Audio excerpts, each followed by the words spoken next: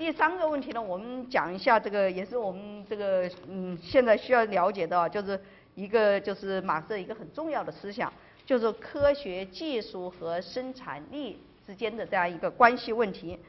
就说，马克思认为啊，我们在讲一个现象，因为我们国家在讲这个科学技术生产力的时候啊，呃，我觉得是缺乏一个历史的观点啊，缺乏一个历史观点。那么马克思呢，在讲科学和呃技术成为生产力的时候，他强调一个重要观点是什么？科学技术成为生产力是一个历史的现象，是一个历史现象，就是它不是啊从人们有生产就有的，而是一个历史现象。这个历史现象主要的说什么呢？就是说它是资本主义生产发展的一产物，是资本主义生产发展一个产物。也就是说呢，你要说明资呃科学技术是生产力。就要考察资本主义的生产方式的发展，就要说明这个呃资本主义在资本主义生产的方式的发展，什么样这个科学技术是如何成为生产力的？就说我们在讲科学技术是生产力的时候，我们要说明科学技术是如何成为生产力的，以及科学技术的生产过程应用给人类历史带来了带来的积极的和消极的影响。这样的马克思在关就关于这个科学技术和生产力的关系上啊，就呈现出两个两个两层思想啊，一个是逻辑上的，一个逻辑上的，一个是价值层面的。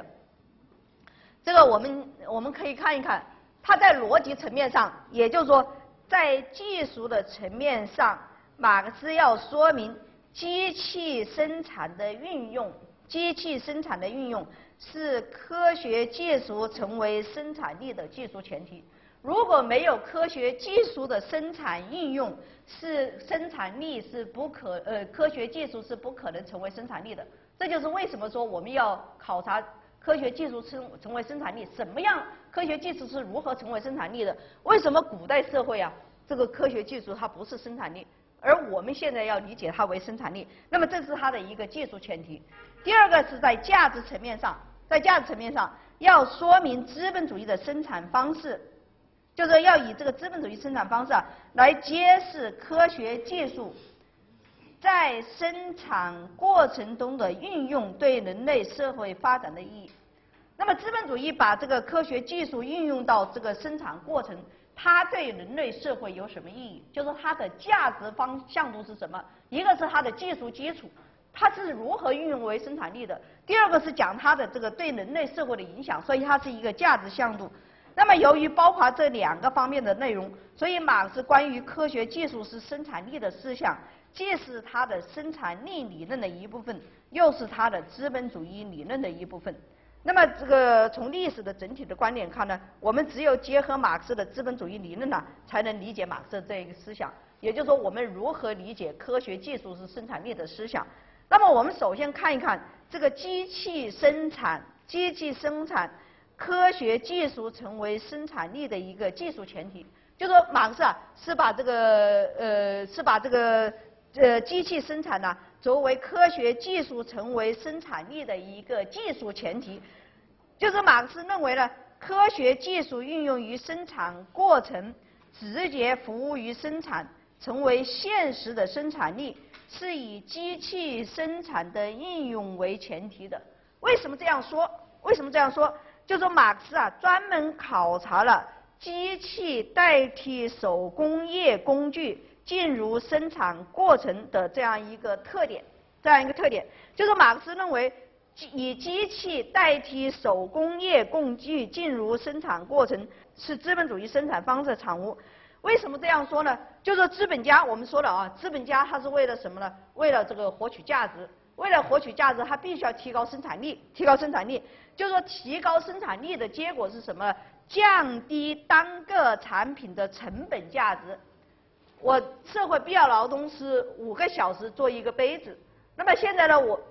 资本家呢，如果我采取你这个人工啊，可能要做五个小时。但是我采用了机器生产，我可能只要一个小时就可以做一个杯子。那么也就是说，你手工劳动是我的这个人工劳动的五倍，呃，是我的机器劳动的五倍。那么我，呃，我，但是我跟你买，如果按社会平均劳动时间，呃，我是用五块钱卖出去，五块钱卖出去的话，你手工劳动五块钱，你就可以维持生产。但是对于我资本家来说，我值一个一个小时做的，就是只花一块钱的成本做的，那我是不是赚了四块钱？是吧？我赚了四块钱。所以呢，这个机器劳动啊，实际上是什么？就把你单个的，你机器越先进，你越先进，那么你的这个单个的产品的成本的价值就越降低。所以呢，这样呢，就是采用了这个机器，所以机器呢，呃，生产呢，它本身呢是什么？是为资本家赚取，就是获取资本、获取价值服务的，获取价值服务的。那么机器生产马上就要说，机器生产和这个作为生产工具和手工呃工业工具作为生产工具有什么区别？那么就比较机器生产和手工工具有什么区别？就是马克思啊，就就认为啊，他们有两点区别。第一个呢。就从资本主义生产的性质来看，机器是资本家用于追加不变资本中的剩余价值。就说机器的运用啊，它本身就是一个价值增值的过程，就是价值增值的过程，也是资本家把它作为剩余价值的商品转化为资本的过程，资本的过程。就说这个它运用什么？机器啊，它是一个价值增值，因为我可以运用机器，可以降低这个生产啊。资本家为什么要不断的用机器呢？是因为这个机器可以带带来我的带来它的利润，可以说它是一种死劳动，是一种死劳动，但是它可以啊使你这个价值增值。所以呢，马克思就说，在这里，机器和手工业工厂的这样一个简单协作和分工是不同的，它是制造出来的生产力，是制造出来生产力，也就是说。它本身就是生产力，机器生产它本身生产力，它可以创造这个呃价值的，所以它本身就是生产力。机器具有价值，马上说机器具有价值，我只要采取机器，我就可以产生这个价值。所以它是作为它作为商品，直接作为机器或间接的作为，必须消费掉。以便使动力所具有的形式的这样一个所需要的形式的商品进入生产领域，所以马克思在这个地方呢，作为机器，作为不变资本的一部分而起作用，所谓不变资本而起作用，所以机器和不变资本的任何部分一样，把它本身包含的价包包含的价值加到产品里面说去，也就是说呢，它使产品由于加进生产它本身所需要的劳动而变贵。所以这个马就说啊，他说机器啊本身就制造生产力，它本身就是生产力，这是第一个。而和这个不同，手工工具是什么？它提高生产力的方法是什么？依靠这个简单的协作和分工。就是对于资本家来说，就是说它是一种无偿的自自然力。呃，我们大概一个人做做的慢的，然后我们把它变成流程，然后你做一个，我做一个，都我们都是用缝纫机做。那么这这个流程肯定是肯定就是说它是一个协作分工的方式，它可以提高生产力，但是它是什么有限的有限的，呃，那么机器呢它却不是这样的，你你用这个缝纫机做衣服，你是这个那个就是一个一个的流程做是吧？它是但它还是在手工的这样一个基础上。但是我现在的这个大机器之一，我肯定用这个大的机器啊，一下子整个用这个把它压下来，或者用机器把它转下来，那个布都是转下来的，所以这样呢，它就生产这个方式就不同了。它不是一种自然的这样一个自然的力，而是什么呢？而是一个社会的一个力量，是一个社会力量，是一个资本的力量。所以呢，这个呃，马克思说手工业工具呢是一个无偿的自呃自然力。因而呢，它是不具有价值的，它不具有价值的，它不能就说你这种合作啊、协作啊，不能成为生产力，它本身不是生产力，这是第一个。第二个区别呢，他说从这个机器和手工业工具的这样一个结构来看，它对于这个和以及它对生产方式的变革的意看，就说手工工具它是什么？它是人的工具，这手工工具啊，它这个是这个是一个是价值增值，一个是无价值的。这个手工工具是什么？手工工具是一种人的工具，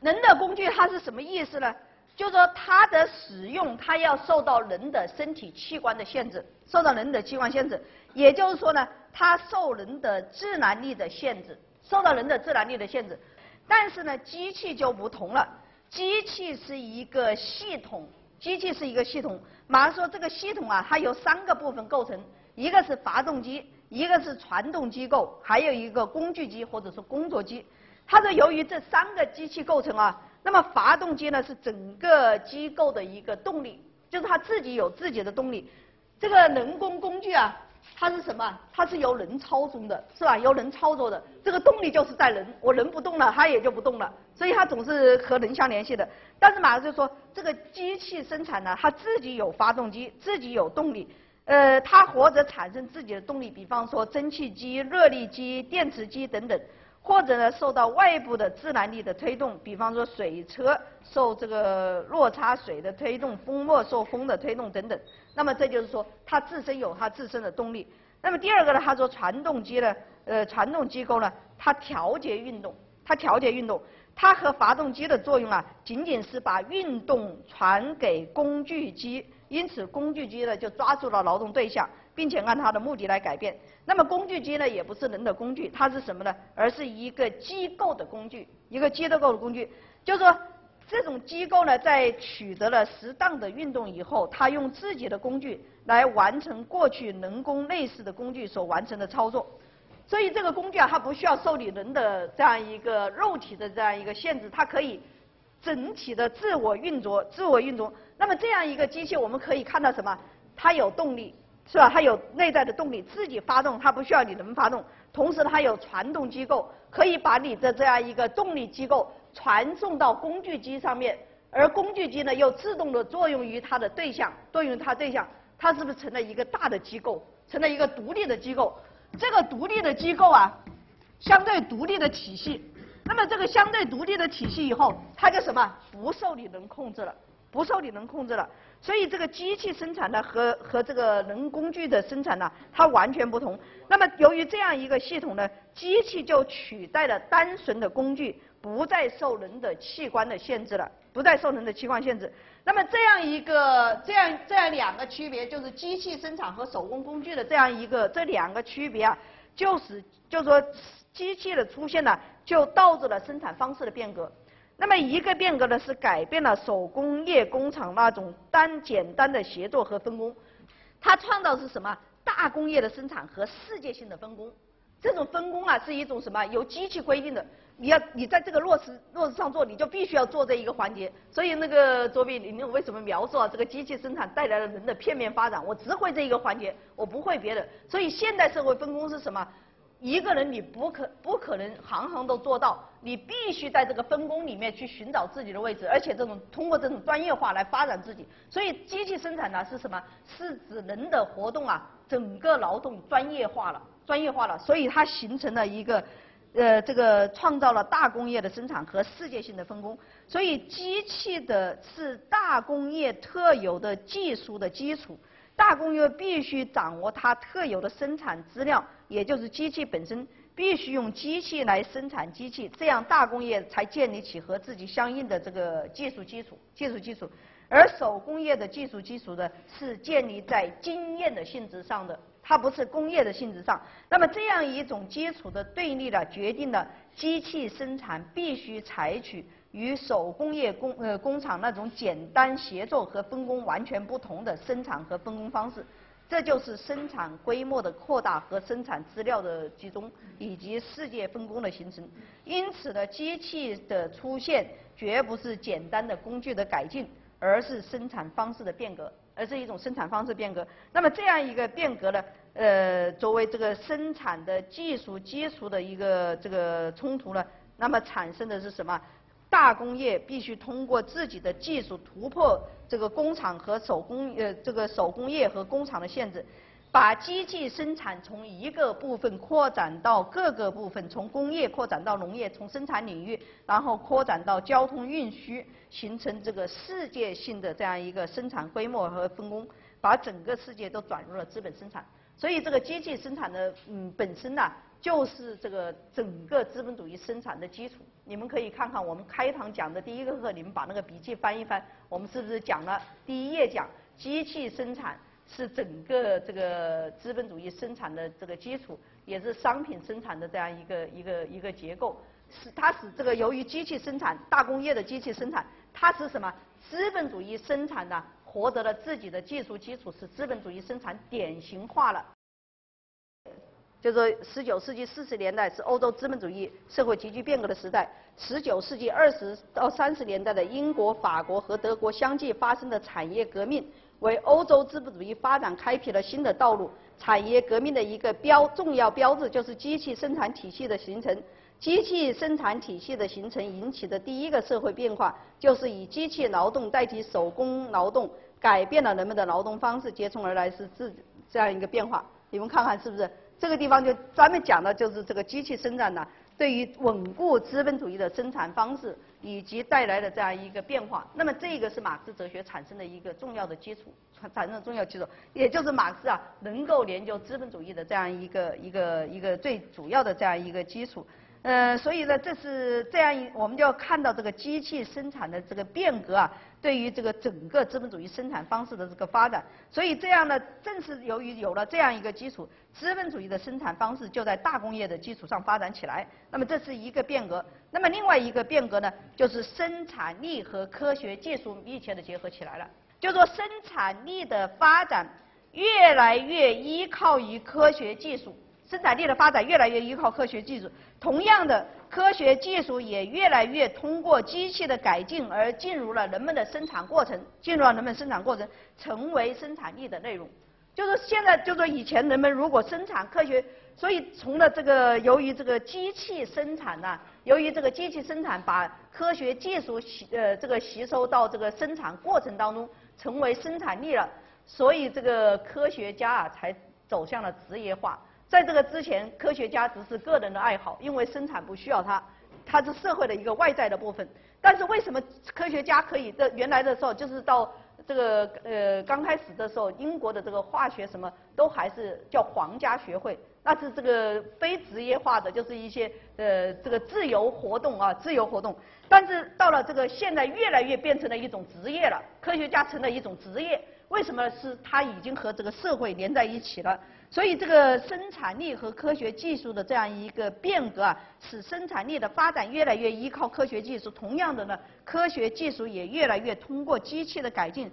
进入人们的生产过程，成为生产力的内容。马克思认为啊，就是科学技术与生产力的这这种结合，是通过机器的改进、技术改进的需要而实现的。所以他认为，他指出，他说。在大工业的发源地英国，水利的应用在工厂手工业时期就已经占了优势。早在十七世纪，就有人试用一架水车来推动两盘上磨，也就是两套磨。但这时传动机构的这个规模的扩大同水利不足发生了冲突，这也促使人们更精细地去研究摩擦规律的原因，是不是研究科学？我这个技术要改进，我就需要科学。同样靠一靠磨杆一推一推一拉来推动的磨，它的动力的作用是不均匀的，这又引引出了飞能的理呃理论和应用。飞能后来在大工业中起了巨非常重要的作用。大工业最初的科学要素和技术要素。就是在工厂手工业时期发展起来的。那么马克思说了什么呢？就说机器的出现产生了生产对科学和技术的需要，所以科学技术呢才进入生产过程，成为了现实的生产力，成为了现实生产力。所以这就说明什么？科学成为生产力。它不是一个，就说一个永恒的东西，而是什么？它是历史发展的结果，是历史发展结果。也就是说，它是一种历史的。这是第一个马克思强调的这个第一个观点。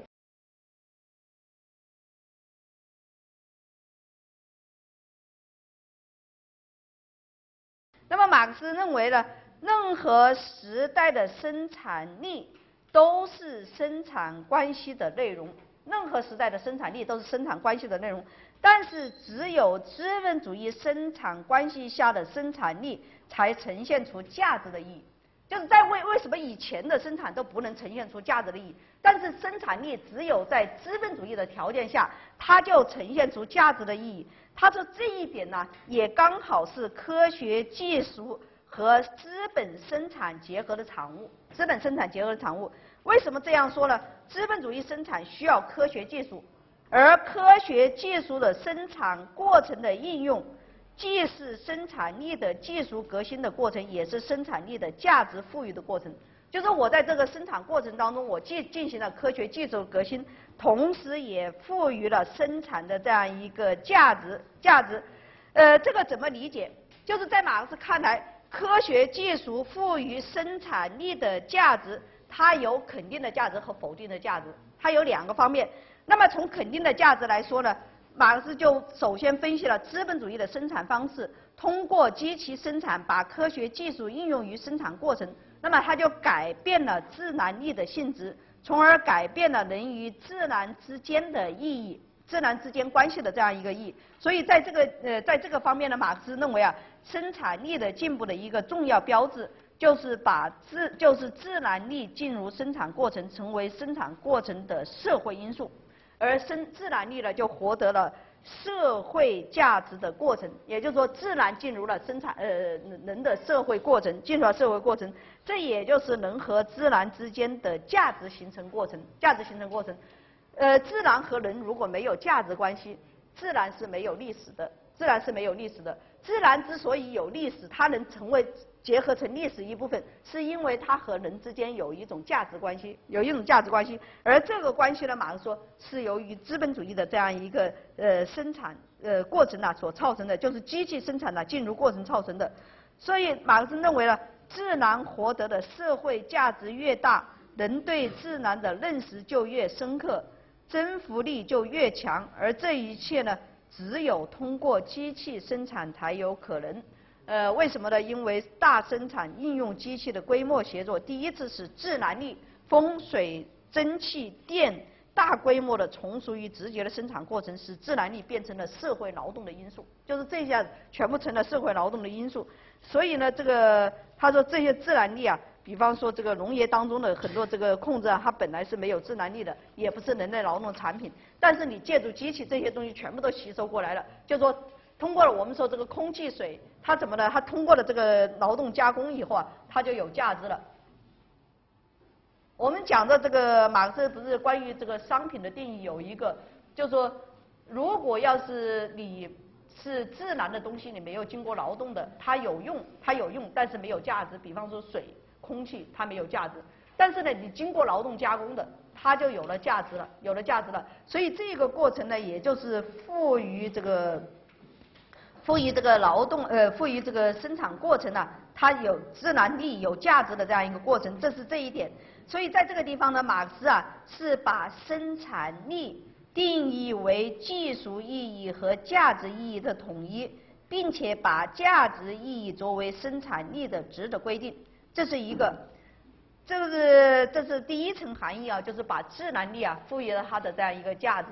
那么另另外一个呢，就是马克思分析了资本主义生产方式把自然科学应用于生产的过程对于带动生产和自然科学发展的意义。就是马克思认为，由于机器生产生产的发展变得越来越依赖于科学，于是科学也就越来越成为一门一个独立的部门，与这个经验科学分离开来。他说：“科学的发展，马克思强调，科学的发展呢是人类理性进步的标志。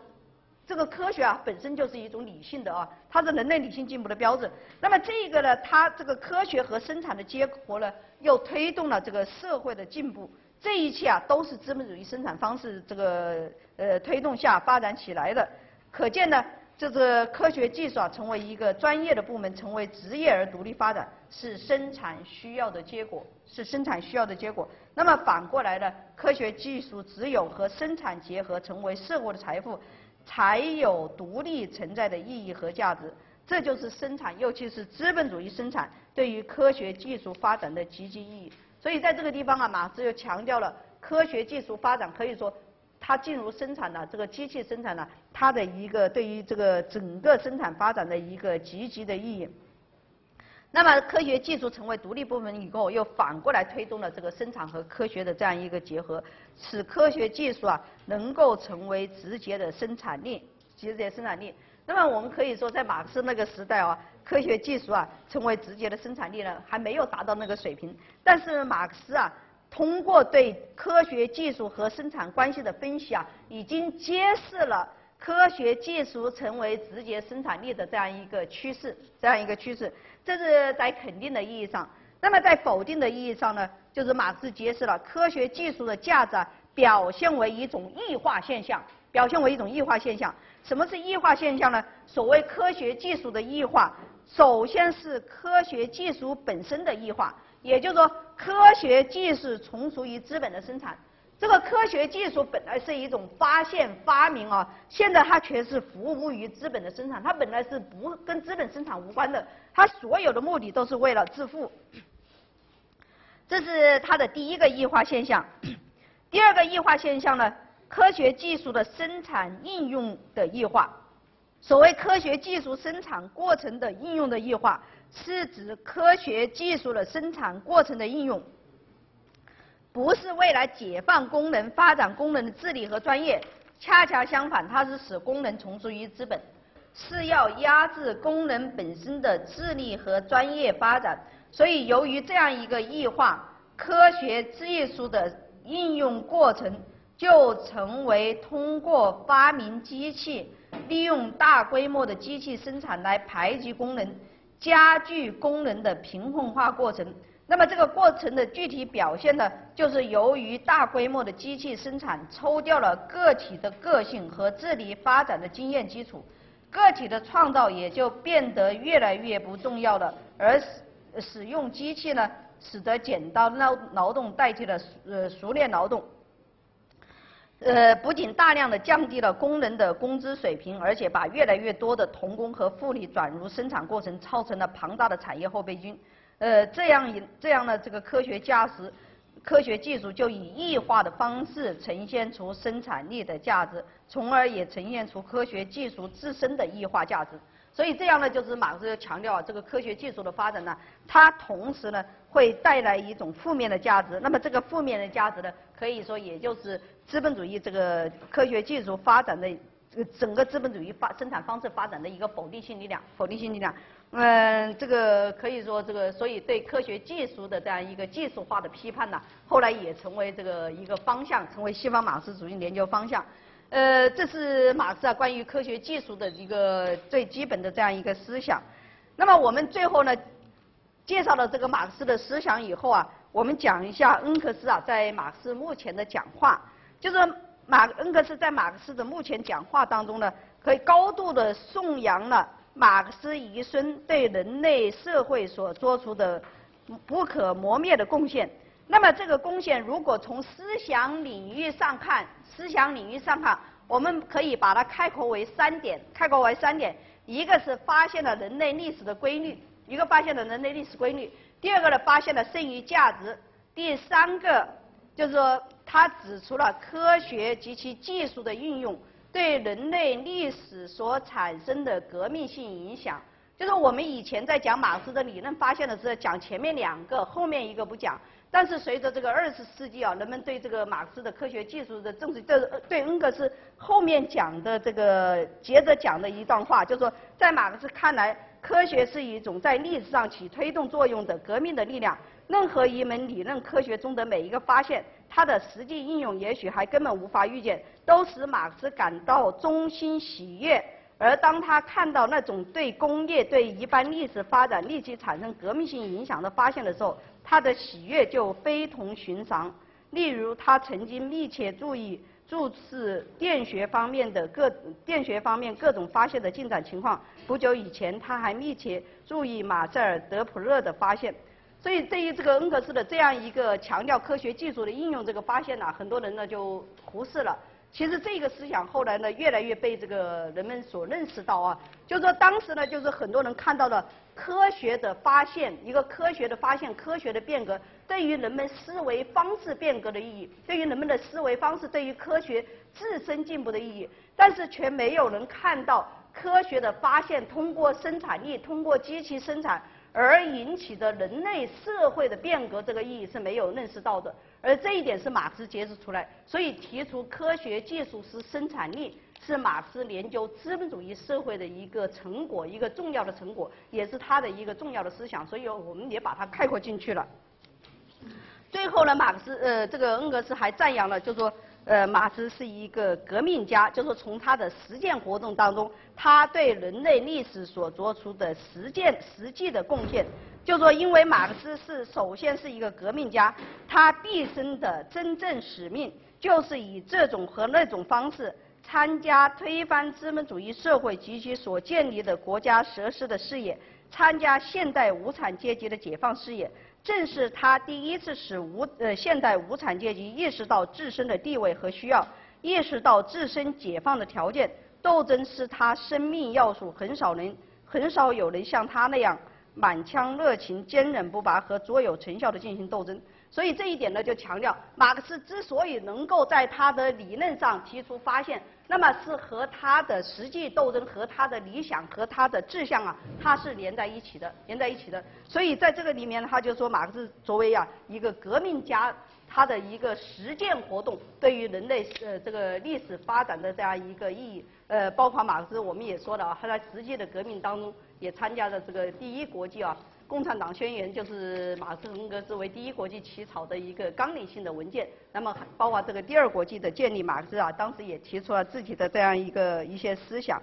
那么，恩格斯的这一个概况呢，可可以说向我们展示了马克思哲学的这样一个特点，就是马克思的实践唯物主义学说和他作为实践的唯物主义者的活动是一致的。他的实践唯物主义的批判精神和实践精神。就是他的革命实践活动，他的人格境界的理论升华，他的哲学对人的异化的批判，对人类解放的期望，对共产主义的憧憬，对社会发展规律的深层思考，都是他的哲学人格精神的创造和展现。正是这样，这呃这个正是这样一个哲学品格。体现了马克思哲学的实质，也构成了马克思主义哲学传统的内核。所以，马克思主义哲学不同于其他哲学的特点是什么？它不仅有理论，而且有这个理论当中所要展示的人格境界，有这个人活生生的人的本身。所以，马克思哲学啊，它是有人格境界的，是包括他的品德的。如果我们不能理解马克思哲学的，人格境界，我们不能理解他的全部哲学。这就是我们呢，呃，讲授马克思主义哲学，呃，特别讲解马克思主义哲学啊，呃，所要强调的这样一个基本观点。而且呢，正是马克思的他的人格魅力，他的人格境界，影响了一代一代的马克思主义哲学家，才会有马克思主义哲学的这样一个创造和我们在一个世纪以后的这样一个发展，这样一个发展。呃，今天呢，我们就讲到这儿。